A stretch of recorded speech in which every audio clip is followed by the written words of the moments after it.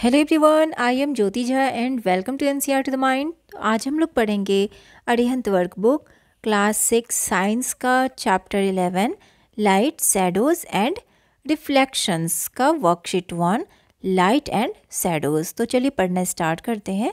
आप भी अपना वर्क बुक निकालिए और मेरे साथ साथ बनाना स्टार्ट कीजिए। और अगर आपके पास वर्क बुक नहीं है तो लिंक मैंने डिस्क्रिप्सन बॉक्स में डाल दिया है, आप वहाँ जाके इसे खरीद सकते हैं। तो चलिए पढ़ना स्टार्ट करते हैं। चैप्टर इलेवन है लाइट सैडो एंड रिफ्लेक्शंस ठीक है? अब देखिए वर्कशीट वन है light and shadows fill in the blanks fill in the blanks with the suitable words ठीक है? सुटेबल वर्ड्स के साथ इसे फिल करना है।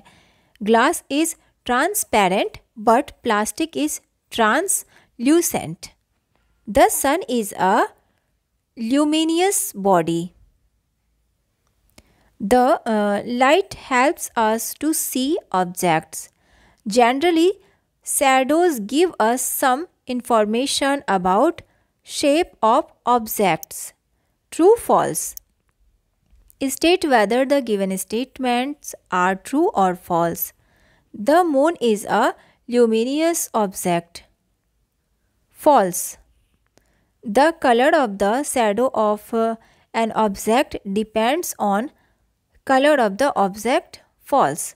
Shadow is not formed when a transparent object comes in the path of light. True.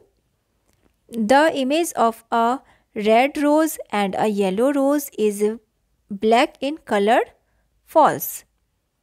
Translucent objects are those through which we can not see very clearly. True. The shadow can be seen only on a screen true matching type match the words given in column one with the statements given given in column two ठीक है column one and column two है word है और इधर statement है। ठीक है OPEC OPEC का क्या होगा? तो ओपेक का होगा object through which one can not see at all. ठीक है, इसके साथ मैचिंग करेंगे। ट्रांसपेरेंट का object through which one can see clearly.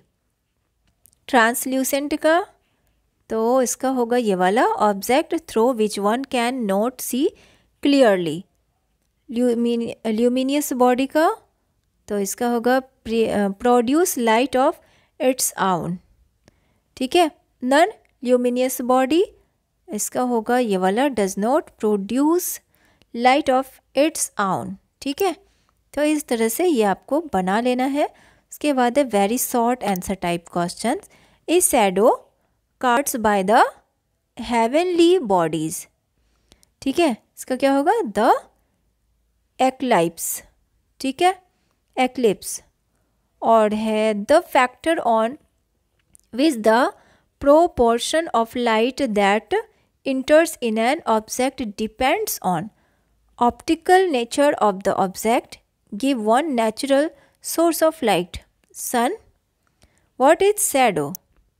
What is shadow? A dark area where light from a light um, sources is blocked by one opaque object.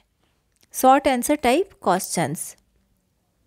Differentiate between the luminous and non-luminous objects. Luminous and non-luminous.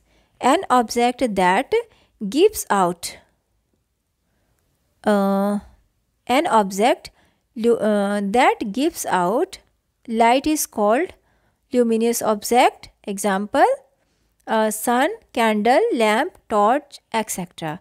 An object that does not give out liquid is called non-luminous object. Example, paper, table, bed, clock, etc.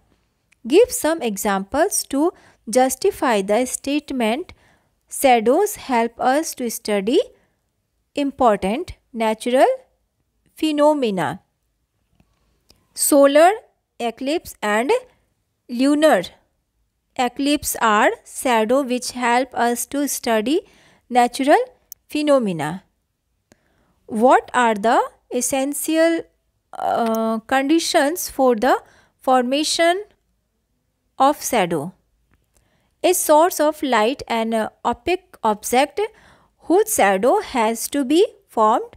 A screen on which shadow is to be formed.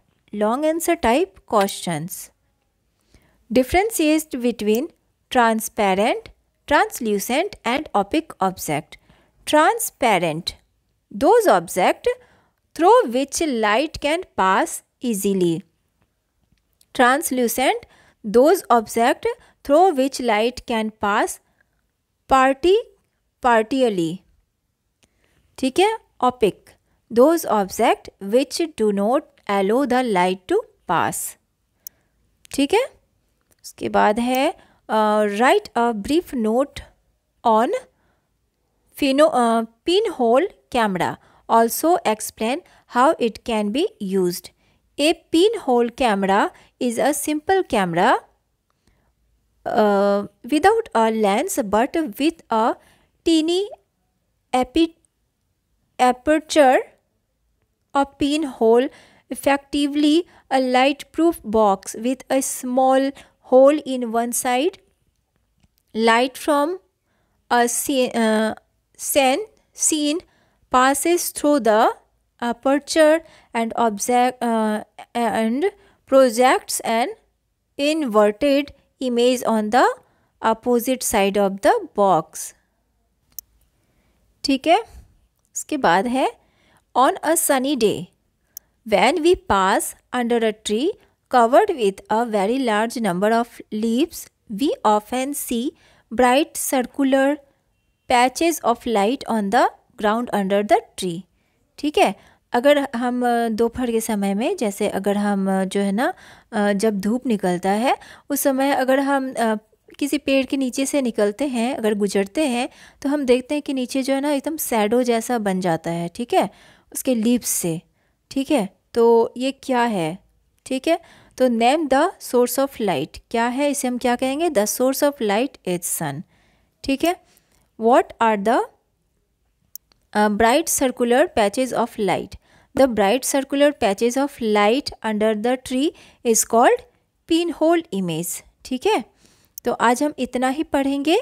इससे आगे मैं आपको next video में बताऊँगी। इतना ही पढ़िए और आप और इसे अच्छे से रिवीजन कीजिए क्योंकि इसमें जितना वर्कबुक में दिया हुआ रहता है, अगर आप अच्छी तरह से अगर वर्कबुक पढ़ लेते हैं, अच्छे से समझ लेते हैं तो आपका एग्ज़ाम देना बहुत ही आसान हो जाता है। ये सारा ही क्वेश्चन पूछा जाता है एग्ज़ाम में।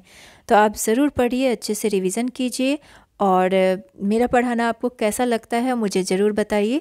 अच्छा लगता है तो N C R T the mind को लाइक सब्सक्राइब कीजिए और पास में दिए गए बेल आइकन को ज़रूर प्रेस कर दीजिए ताकि एन सी आर टी से रिलेटेड हर वीडियोज़ आपके पास समय से पहुँचती रहे।